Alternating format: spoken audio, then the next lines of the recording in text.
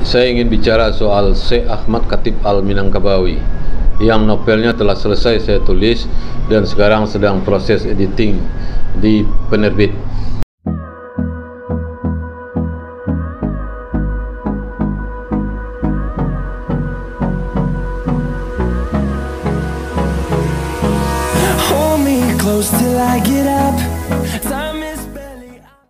Syekh Ahmad Khatib Al-Minangkabawi adalah seorang imam besar Masjidil Haram dari mazhab Syafi'i.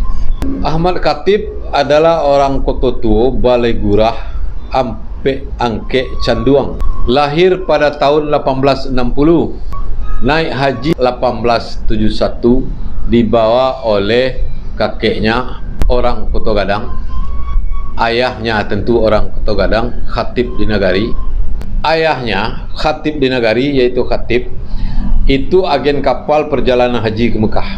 Salah seorang pak eteknya adalah ayah dari Haji Agus Salim. Ahmad Khatib adalah satu-satunya orang Indonesia yang menjadi imam besar di Masjidil Haram yang banyak YouTube-nya dibuat orang dan fotonya salah. Karena menurut cucunya yang saya kontak di Medina, keluarganya tidak punya foto Ahmad Khatib. Dengan demikian, foto yang dipasang itu salah. Nah, di Google dibuat fotonya itu Ahmad Khatib, padahal itu adalah foto Syekh Sulaiman Ar-Rasuli atau Inyek Canduang. Uh, tidak salah sih, karena memang itu yang ada di Google. Tapi novel saya meluruskannya. Tidak ada foto Ahmad Khatib. Di Leiden sekalipun tidak ada. Jadi uh, YouTube saya kali ini banyak foto tapi bukan foto dia. Karena fotonya memang tidak ada. Dan ini bukanlah ustaz YouTube karena saya bukan ustaz.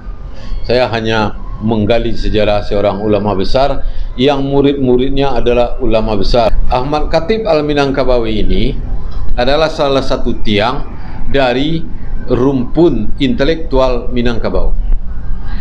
Jadi uh, pejuang-pejuang kemerdekaan itu yang hebat-hebat itu yang berasal dari Minangkabau itu jika tidak bersentuhan langsung dengan Ahmad Khatib gurunya yang bersentuhan. Misalnya Hatta. Hatta setiap maghrib mengaji ke surau Jamil Jambe. Dia tinggal di Awa Tujungkang mengaji ke tengah sawah di Bukit Tinggi. Coba baca biografi atau tulisan Hatta. Jadi pengaruh ulama-ulama Minangkabau yang ribuan orang yang menolak ordonansi sekolah liar pada tahun 30-an misalnya itu adalah murid-muridnya.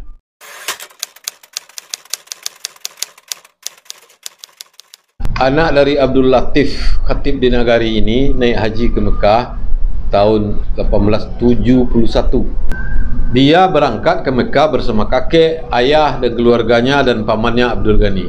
Abdul Ghani adalah seorang pengusaha besar di Sumatera West Coast di Sumatera Barat. Nah, di Sumatera West Coast itu dialah pengusaha paling besar bahkan di Sumatera Tengah. Dia pedagang kopi, pengumpul kopi dari gudang-gudang kopi di Belanda di Minangkabau yang terbanyak gudangnya di Solo. Kopi-kopi itu dikumpulkan di gudang besar dan gudang kecil lalu dibawa ke Padang untuk diekspor ke terbanyak ke Amerika Serikat baru ke Belanda. Pamannya itulah yang membiayai pemberangkatan ke Mekah dengan mencarter selantai kapal dan setiap waktu salat penumpang kapal diberi hadiah.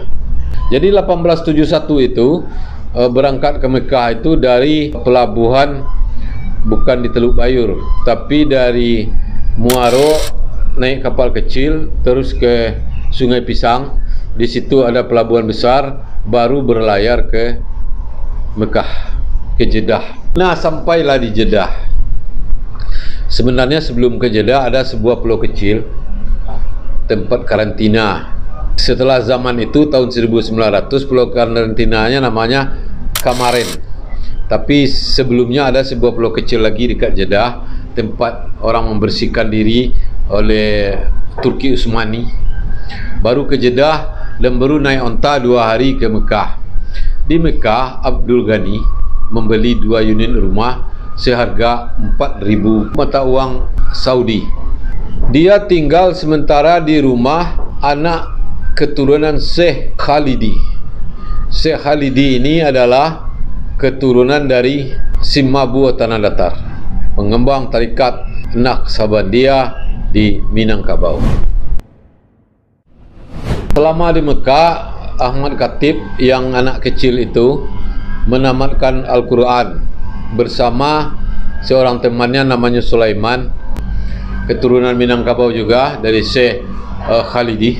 Jadi Syekh Ahmad Khatib berangkat ke Mekah umur 11 tahun nih sebalik umurnya. 11 tahun dan di Mekah dia metamkan Al-Quran.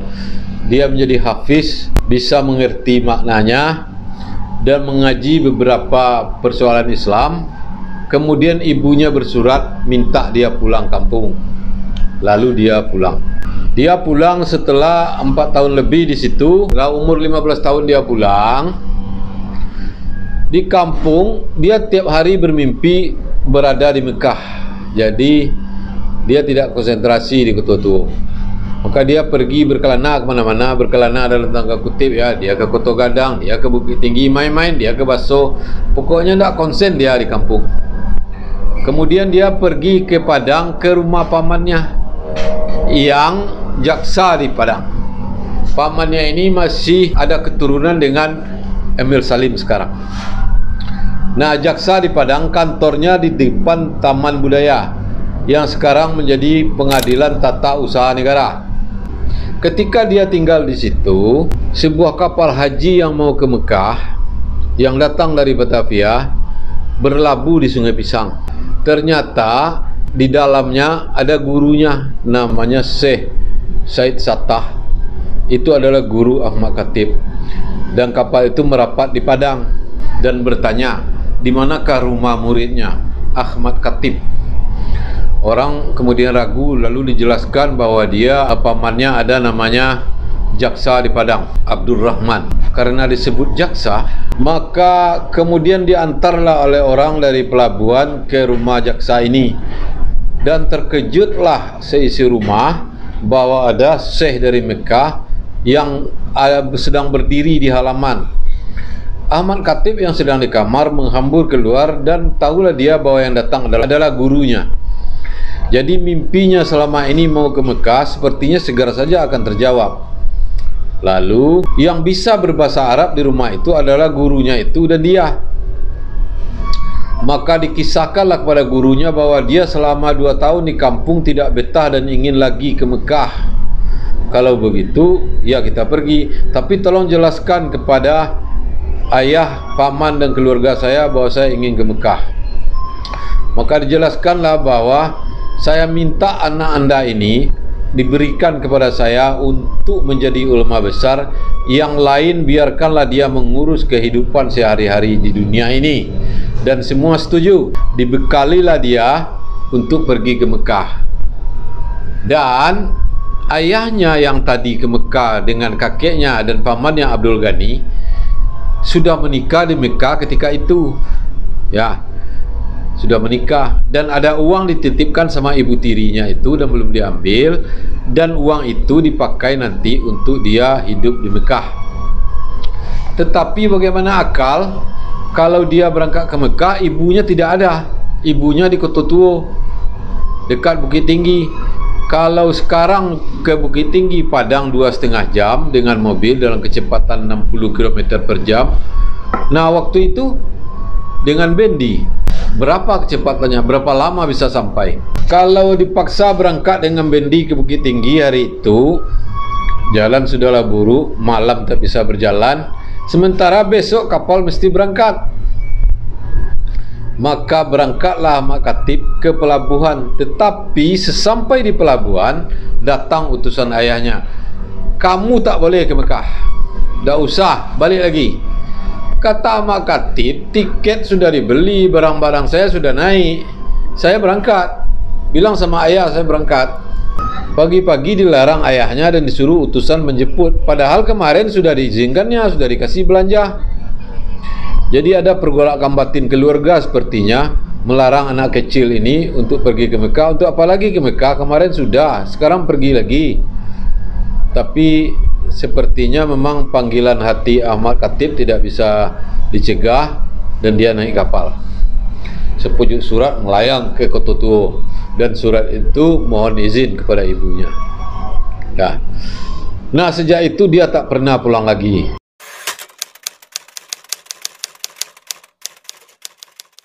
Nah, dia sampai di Mekah, dia sudah bawa uang dari kampung, ada uang juga di ibu tirinya. Dia sudah punya dua unit rumah dibelikan pamannya. Kenapa dia punya ibu tiri di di Mekah? Waktu berangkat pertama ke Mekah, ayahnya menikah di situ. Alasannya antara lain karena dia sendirian di situ bertahun-tahun. Jadi waktu dia berangkat pertama kan sama kakek, sama paman, sama ayah, sama ayah, sama keluarga besar, termasuk para pembantu berangkat satu kapal satu lantai. Nah itu banyak uang, pamannya juga banyak uang, bahkan dibelikan dua rumah seharga 4000 rial. Nah ketika naik haji kedua, kan rumah itu disewakan. Jadi ada uang dan segala macam untuk hidup di sana. Dia belajar hanya belajar saja. Soal nafkah tidak dipikirkan. Untuk kedua kalinya sampai di Mekah belajar agama pada Syekh Usman Sattah, Syed Sattah, pokoknya ulama-ulama Sattah. Syekh guru besar, profesor di Masjidil Haram. Dia punya teman Sulaiman tadi. Sulaiman ini masih keturunan Minangkabau darahnya. Sulaiman ini dijodohkan dengan seorang gadis anak Syekh Al-Kurdi. Maka sang calon mertua Syekh Al-Kurdi yang punya toko buku di rusuk Masjidil Haram, seorang bangsawan, seorang kaya, seorang ahli Al-Quran, senantiasa bertemu dengan Sulaiman untuk berdiskusi dan menguji ilmunya.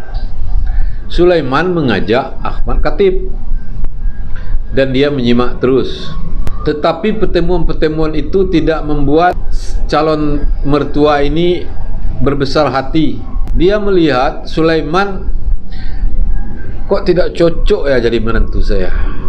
Temannya ini pasti diajak berdiskusi bisa dan ilmunya dalam.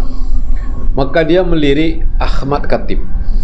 Ahmad Khatib tentu sungkan tapi kemudian singkat cerita dialah yang dipilih menikah dengan anaknya namanya Khadijah dia mesti membayar mahar dan uang sewa rumah 2000 rial piti tak ada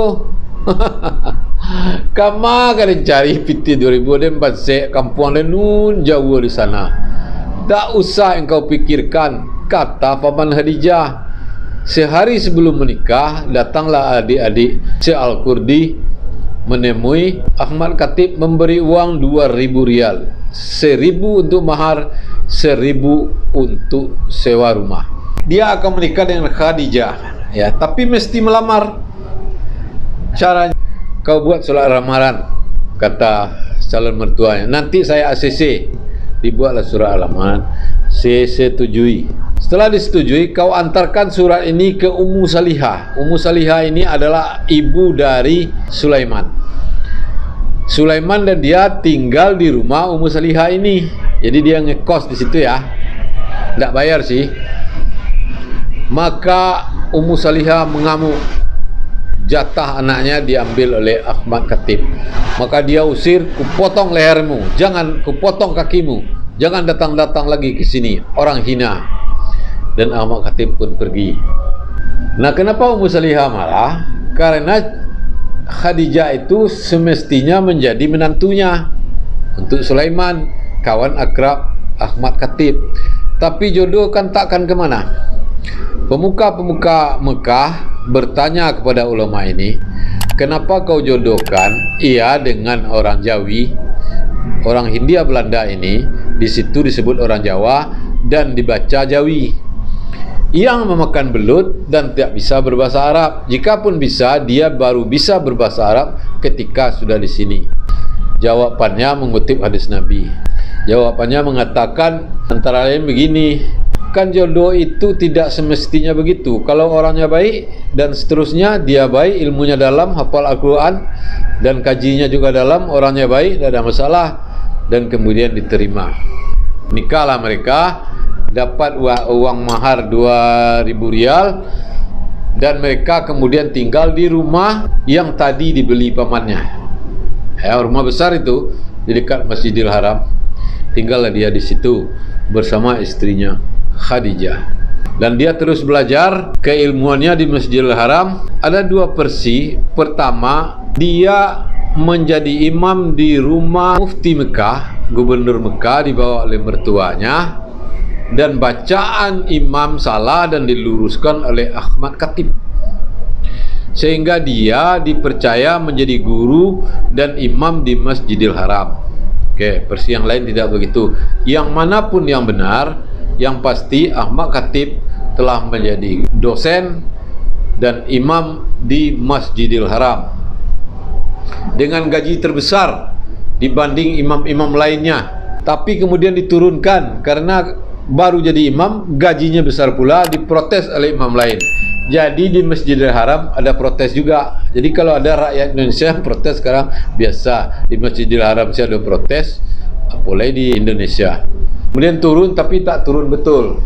Nah beliau belajar matematika, aljabar. Jadi kalau ada orang belajar matematika, belajar astronomi itu bukan ilmu dunia, itu ilmu agama. Contohnya Ahmad Khatib belajar ilmu falak ilmu falak itu kan ilmu bintang-bintang ya rasi bintang dan segala macam belajar matematik belajar aljabar sinus kosinus dan semua seluk beluk tentang matematika dipelajari maka Ahmad Khatib adalah ahli matematika dia ahli fikih ahli nahu ahli saraf ahli Al-Quran ahli fisika ahli ukur tanah jadi jarak antara Jeddah dan Mekah itu berapa? Bolehkah salat di kasar? Tidak dia jawab. Dia pergi ke kantor telegram. Berapa, eh, ke kantor wali kota dulu. Berapa jarak Jeddah dan Mekah? Mengapa kembali tanya tu kantor telegram tu situ ada ukurannya. Pergi dia ke sana. Dia tanya, diberi penjelasan, maka dibuatlah kitab untuk Jeddah dan Mekah tidak perlu salat kasar. Karena jaraknya seperti itu semua ilmu agama dia pelajari dan murid pertamanya adalah Abdul Sakur Tahir Jalaluddin. Tahir Jalaluddin adalah bapa astronomi Melayu yang meninggal di Penang dan dibuatkan laboratorium di situ. Itu adalah adik sepupunya anak bibinya yang yatim.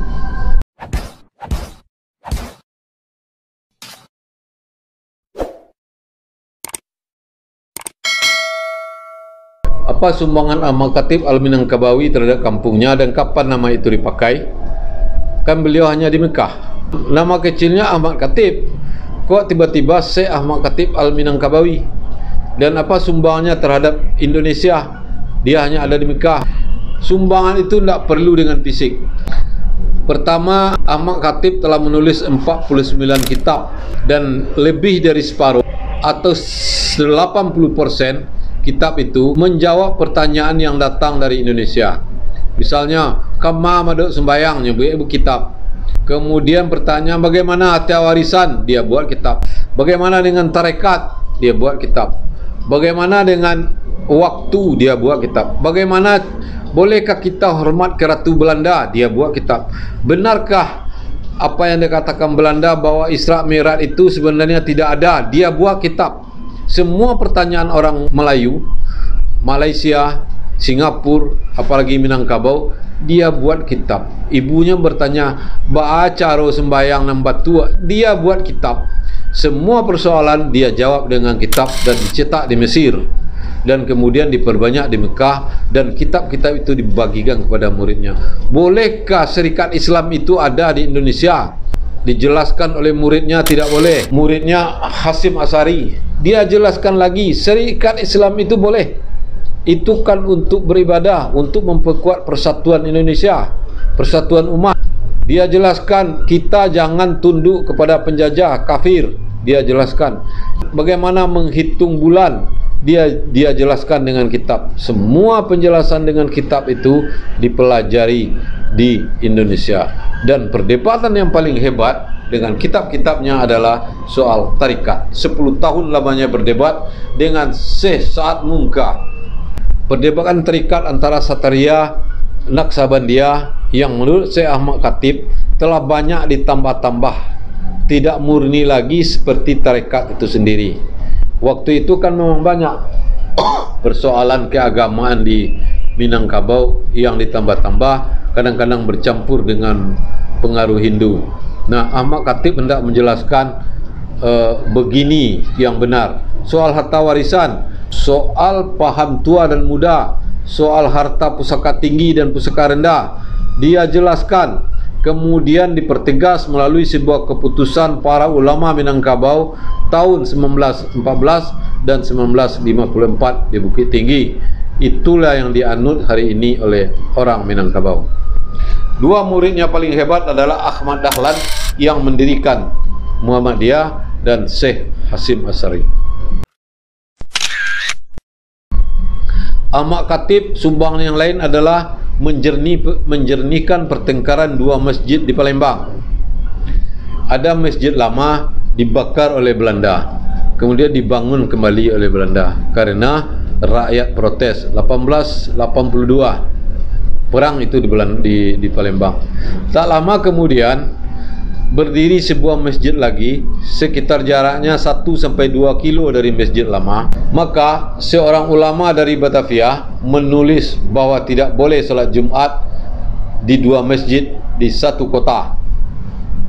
Tak boleh. Jelaskan oleh Ahmad boleh. Masa tak boleh? Jaraknya jauh. Kemudian ada masjid, umat bertambah, tapi tetap saja tidak boleh. Sampai kemudian ulama itu meninggal dan penjelasan Ahmad Khatib menjadi benar. Dua masjid di Palembang selesai oleh penjelasan yang akurat dari Ahmad Khatib. Kasus yang sama juga terjadi di sebuah kota lain di Kalimantan. Apalagi yang dijelaskan oleh Ahmad Khatib yaitu tentang perjuangan merebut kemerdekaan melalui kitab juga bahkan tadi saya sebut perdebatan paling hebat soal tarekat 10 tahun berbalas-balasan dengan kitab-kitab masing-masing. Itu sampai sekarang kitabnya masih ada. Saya bisa saya pastikan saya satu-satunya sampai 6 bulan lalu yang punya 45 kitab Ahmad Khatib. Karena saya dikasih oleh cucunya oleh cicitnya dan saudara saya sebar kepada sarjana-sarjana Islam dan ulama di Sumatera Barat.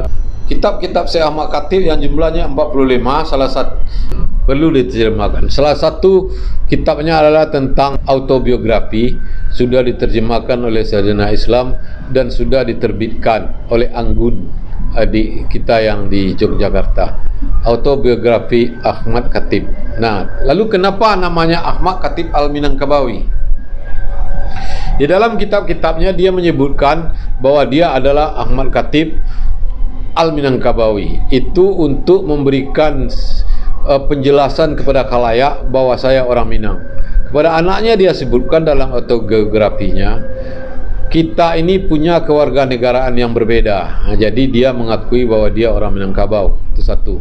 Yang kedua, ada yang menyebut Ahmad Khatib tidak mau pulang, termasuk muridnya yang paling keren adalah Karim Amrullah Ayah Buya Hamka tetapi dalam buku Ayah Buya Hamka tidak secara pasti ditulis di situ bahwa dia tidak mau pulang. Ketika uh, Karim Amrullah bertanya ini ada bertanya kenapa tidak mau pulang?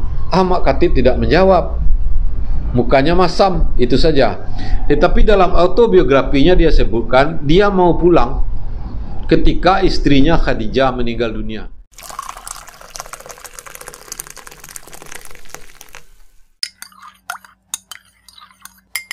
Dengan demikian Ahmad Khatib tidak hanya berpengaruh dan tidak hanya menyumbang pikiran, ide dan ilmunya kepada Indonesia, kepada Minangkabau tetapi juga ke Indonesia, Singapura, Malaysia, Brunei, Thailand dan negara-negara di Hijaz. Seorang penulis dari Malaysia, Mardova namanya, bukunya tebal sekali, menjuluki Ahmad Khatib adalah bintang di langit Hijaz.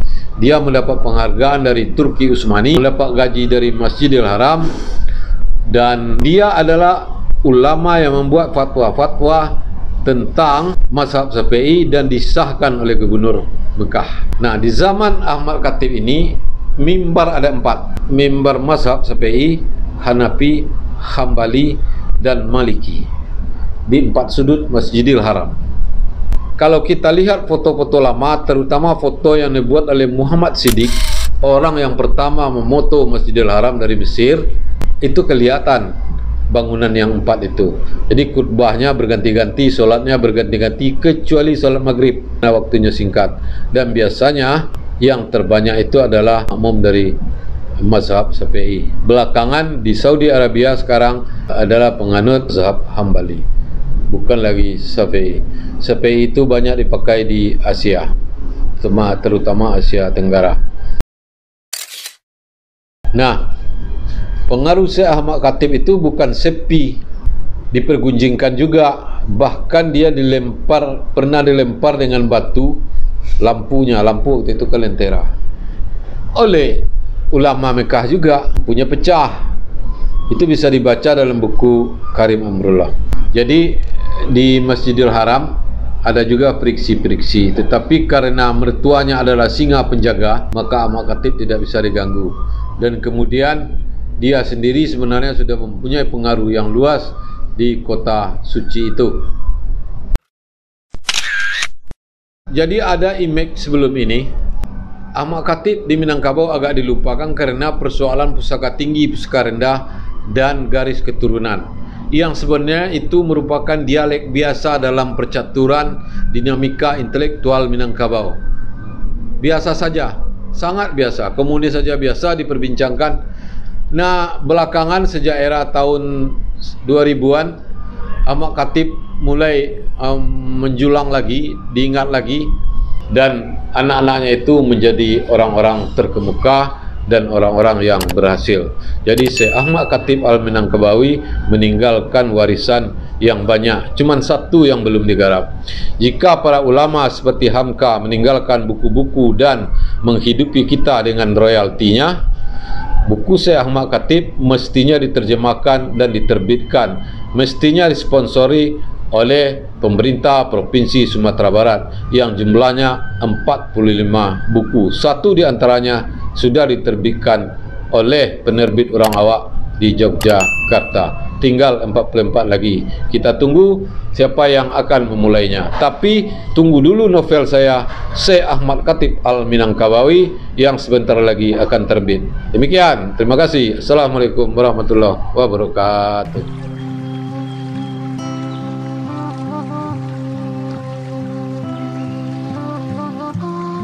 subscribe jika masih ingin mendengarkan saya berkata-kata jika tidak apa boleh buat? Tidak apa-apa yang penting hati dan riang adalah obat